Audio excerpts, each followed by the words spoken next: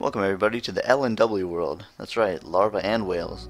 The game puts together these two mechanics you've used so far to pretty devilish effect. Some of the puzzles are pretty tricky.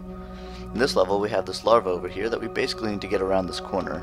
If we flip it like this it gets about halfway there but then falls off the level. Maybe we could use the whale to block its path and then be able to walk it the rest of the way.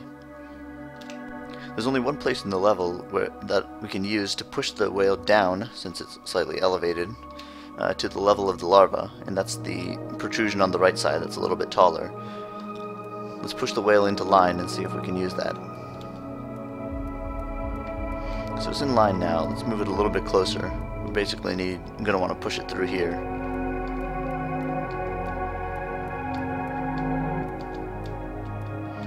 And we push it down, okay.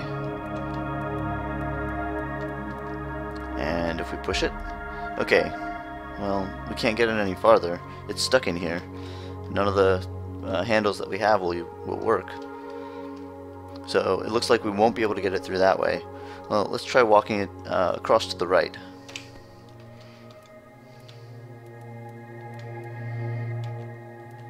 Okay. Oh, this doesn't work. In this pretty interesting inversion of mechanics that we've seen so far, it's actually more difficult to keep the whale on the level than to push it off. It turns out we need to be a little bit more careful about this. So if we push it a little bit farther, now we see it is in line, and we can start pushing it this way. Okay. Now I'm going to push it one more to the right because um, we're actually going to walk it around the outside of the level, the bottom edge that um, on this side. Uh, but to do that, I'm going to push it one more to the right. This is safe because it's being supported by just one of its uh, six prongs. It's pretty interesting.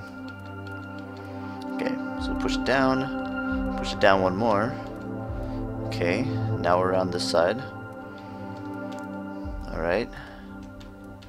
we're Getting closer.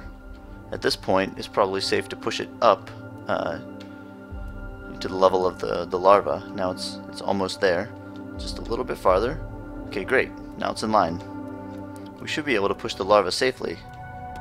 Sure enough, there we go. Flip it one more, and again. And this part should be pretty easy. All we have to do is push it off.